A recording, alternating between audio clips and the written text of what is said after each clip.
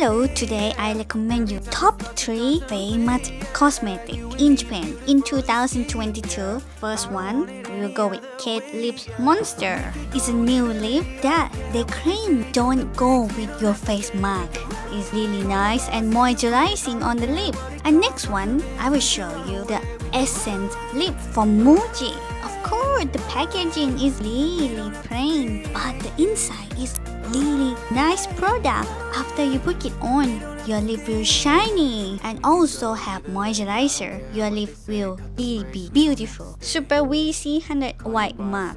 You will surprising of the serum. is really a lot inside. And this mark special, you take only 3 minutes. A really good smell. If you have any recommend Japanese cosmetic, please tell us. Thank you.